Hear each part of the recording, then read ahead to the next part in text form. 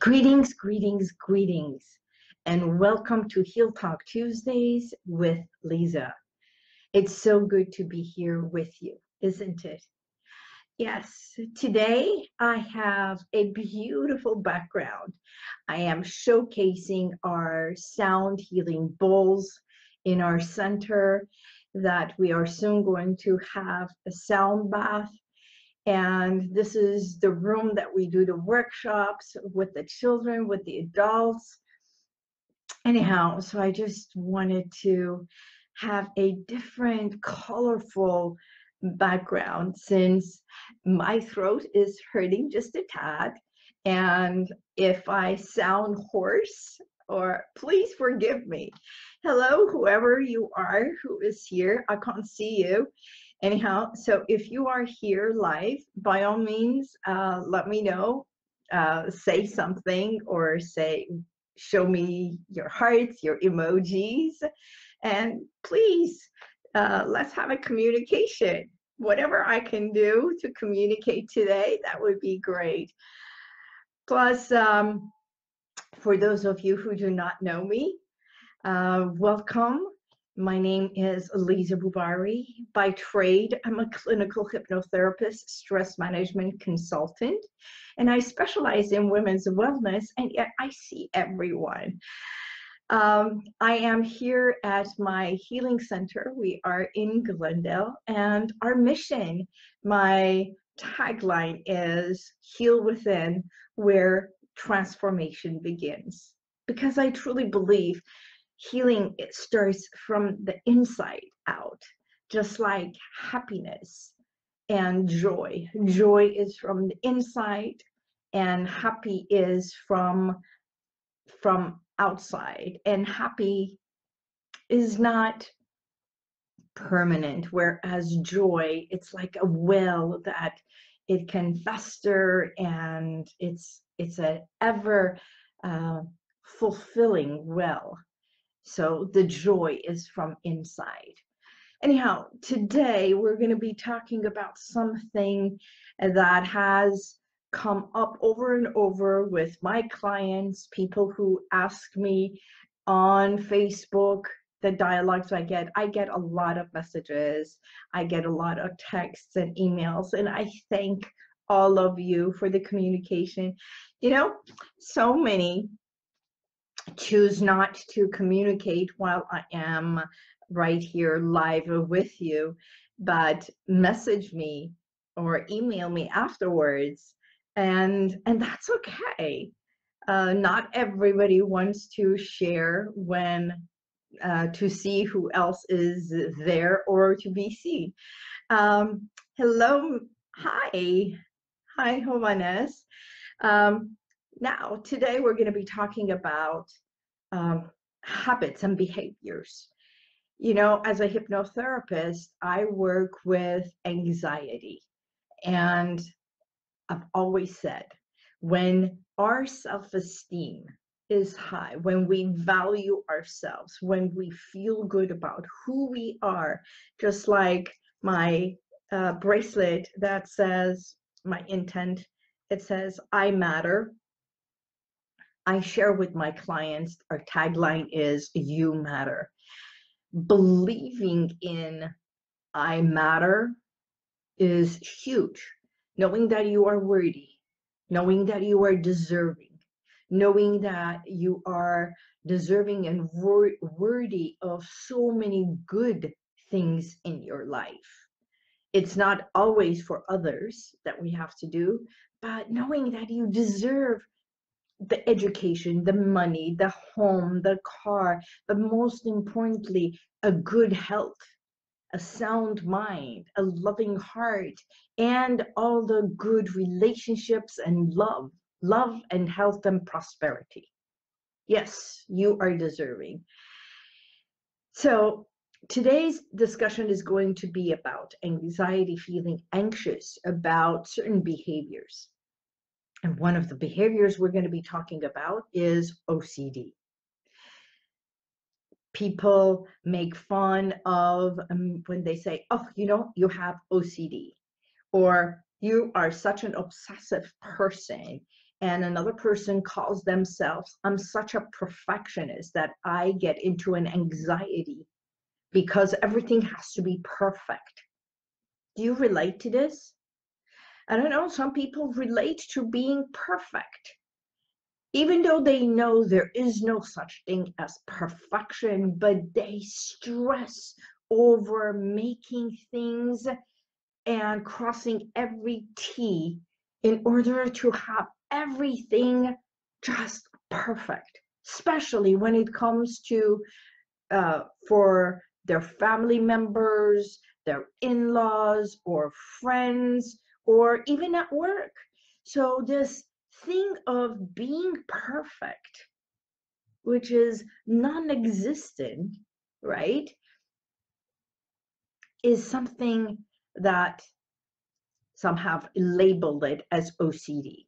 Now, we know what OCD is. The term OCD has been termed as obsessive compulsive disorder.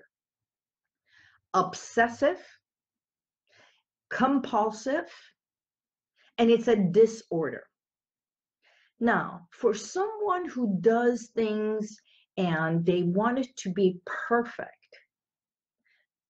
where is the disorder? Where is the compulsiveness in that? Because I believe it's truly in order. They do things in order, they check things over and over to make it right. And if it is a compulsive, um, obsessive, it has become obsessive. That's not how it started. In my line of work, years and years of doing hypnotherapy, tapping into the subconscious in order for us to find out, uh, reduce the anxiety. And then, yes, believe it or not, this OCD is first understanding where it stemmed from. And it's so easy to do this through hypnosis, tapping into your subconscious, because you know you can say all the affirmations you want consciously and consciously do things and say this is what i'm going to do and then within few hours or days you are back in doing the same thing and then turn around and say but i can't not do it. Well, there is no such thing as I can't because I think I can't, the word I can't means I have not found the way to do any other way. Not that I cannot, unless there is something really wrong. That means we have not found the solution to do it a different way. We need help finding how we can do things differently that the circumstances, the result changes. So for those who have OCD, outside of joking about it, I like to say, I I am all about words. So I ask my clients, what if? Just what if? I mean, it's like a huge what if we were to shift the word obsessive compulsive disorder to orderly controlled diversion orderly controlled diversion i want you to think about it because anything that is done as obsessive it is very much in order. There are people who uh, lock something and then they go check the lock to see if the lock is locked. And there is an order for that. They check one thing and then they do something else and then they go back or check something like that. So there is a whole order that they have created. If they move something and they put things in order and they box things or number things, there's an order, even though it's a madness in their mind, but there is a whole order in there. It's controlled and it's in order. There is no disorder. But what is this is the diversion. We create OCD, we become compulsive because while we are doing this, we are not doing that one. And doing that is an emotional thing we want to divert from. So we begin doing this. And while we are busy locking, unlocking, counting, putting things in order, or even cleaning, cleanliness is another OCD. So people who shower two, three, four, five times thinking that they are dirty or they are smelling it's not that because while they're doing this, they are away from an emotional connection to something else. Now, do you relate to this? If you do, please emoji, um, thumbs up, or anything. Hi, Annie. Hi, Muskan. Hi, Lily. Hi, Karine. Hello, Gabby John. Hello to all of you for being here. Thank you for being present. I see you. I don't know if you relate to any of these things. And my voice is a little bit hoarse today, but I have no OCD in going and doing something. But I am drinking my tea. Mm, so good. Keeping my throat warm. And I do my meditation yesterday afternoon. I couldn't even speak. It was like there was this thing stuck in my throat. And this morning, I did my meditation. I did silent chanting. And by chanting and my meditation, I visualized whatever it was in here, I was taking it and literally releasing it. Anything that I was not aware and I needed to express, I was releasing it and saying to myself, I have the permission to speak. I have the permission to voice. I give myself permission to be clear in expressing what I want. You see, I do the same work on me as I help my clients every day in every way, accepting, appreciating, and honoring myself as much as I help all my clients do so. So, back to OCD. I don't know what your OCD is or why you get anxious because of your OCD. I think you have developed your OCD long time ago and you can go back and literally sit with yourself and visualize what is it that you do. You can do this on your own.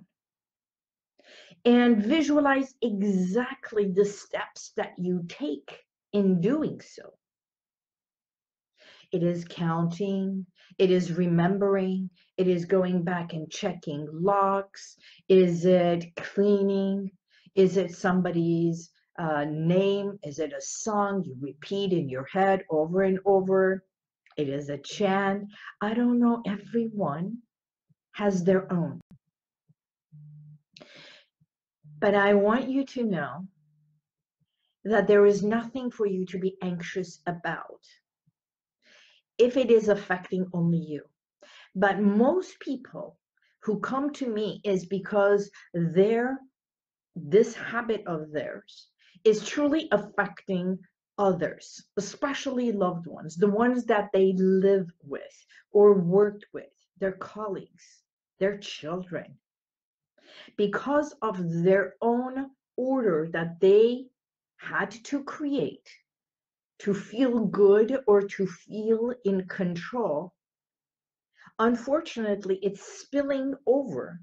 And they, because of theirs, they want to control other people or it's affecting them and making them be a part of their controlled environment.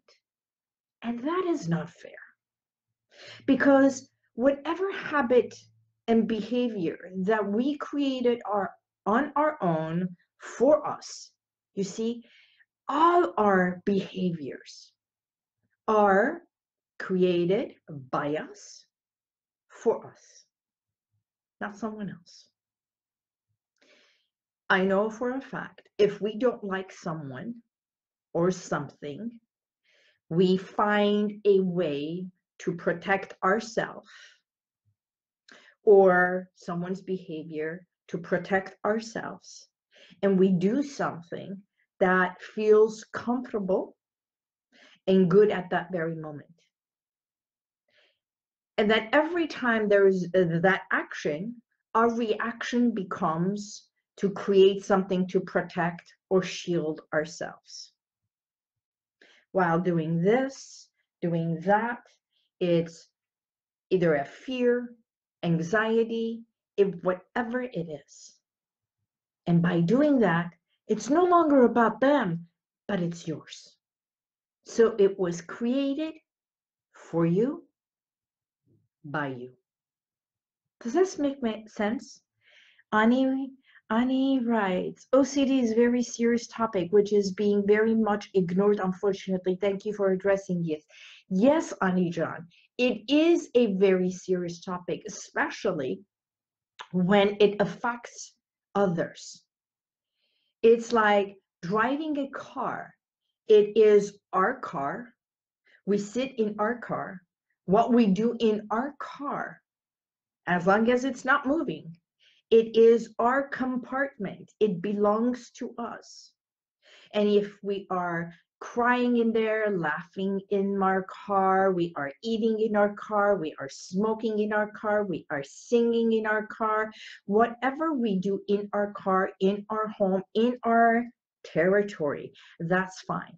But once that we take this and we move it forward or shift it outside of our territory and we take that car we start driving the car. If we are angry if we are smoking or if we are texting we are talking we are whatever that our full attention it becomes outside of our territory now we are affecting other people. And it's the same thing with ocd so hypnosis is so effective in peeling away the layers so that you can understand this is uh, why I do what I do and how it helps me.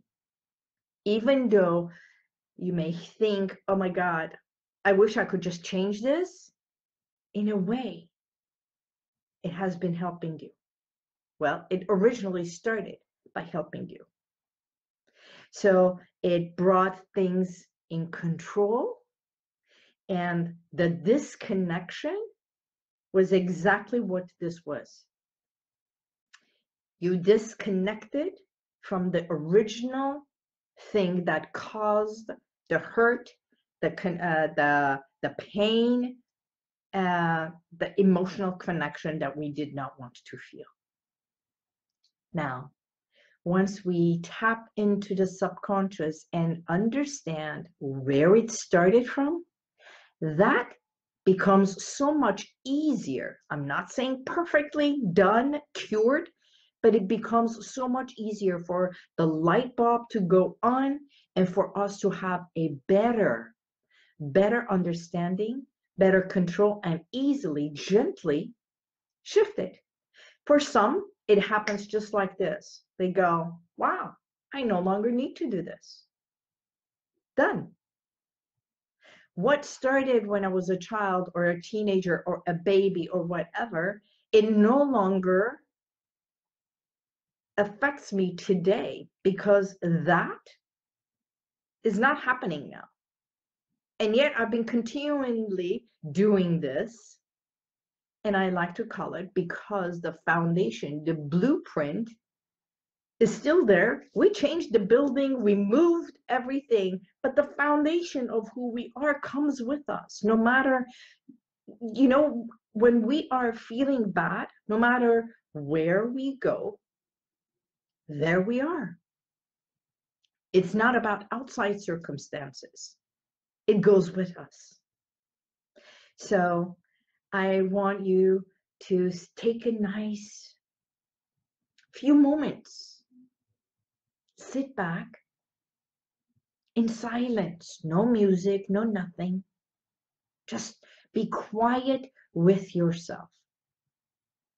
And visualize the OCD, the order, the compulsiveness that you believe you have, and track back if you can. All the answers are within you. And if you can tap into and allow that video of this is your life to play all the way back, that you can remember, recall when it started, and see if you can shift it. And if you cannot, by all means, call me. I'm here for you. In less than few sessions, you may have your OCD gone or faded away or eliminated. I don't know. But the original emotion that attacked it or was the cause of it can be dismissed and no longer affect you, making your life easier, making your life better, and spills over, making the life of the ones you live with, work with, much better. So today, I want you to think of it. Whatever it is that I put in order to control something and that was a diversion. Today, I can roll it back, divert, have full control, and let the order out and be having fun.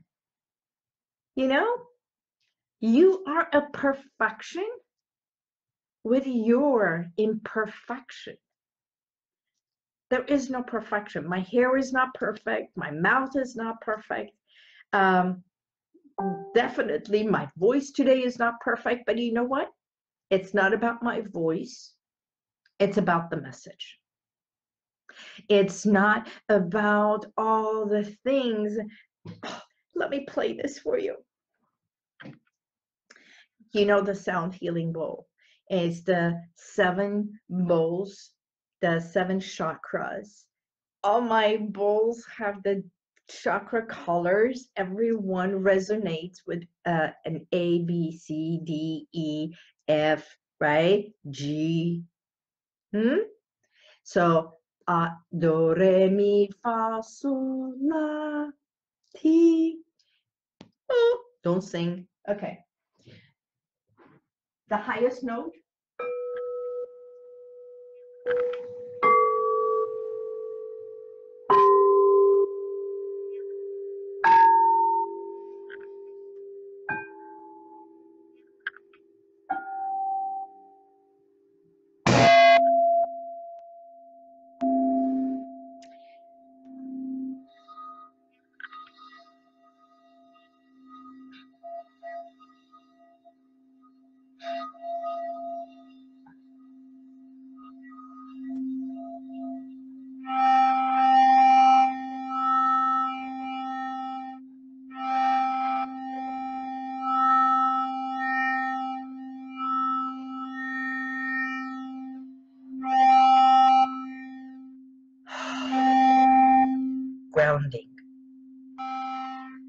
truly grounding.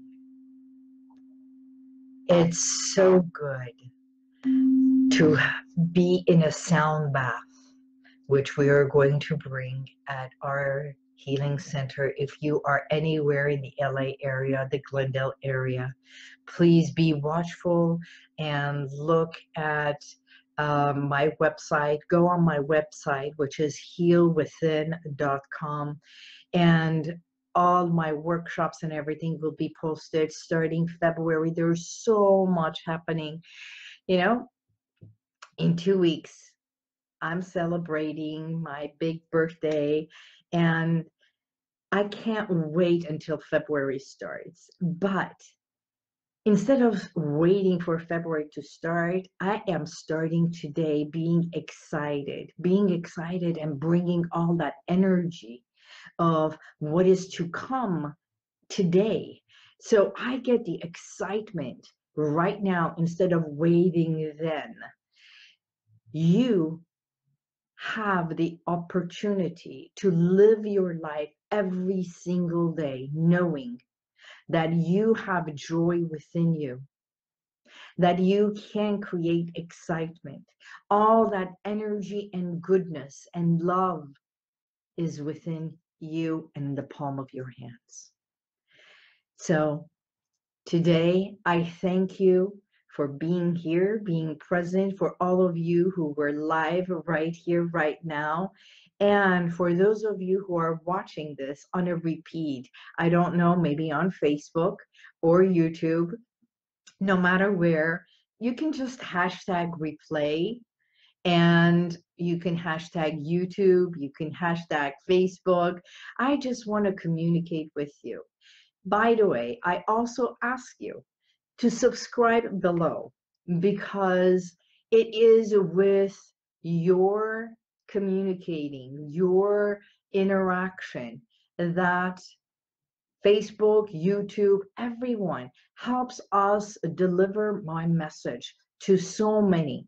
By all means, and if you like today's message and you believe someone needed to hear this, thank you for the testimonials. Thank you for the emails and texts. But please share this. Share this message with your friends. Have them contact me. This is Liza Boubari. A part of what we do is to help you heal within, where transformation begins. God bless you. Thank you for being here. And I look forward to seeing you next week. Until then, God's blessings and may your, the universal light be with you. Bye bye.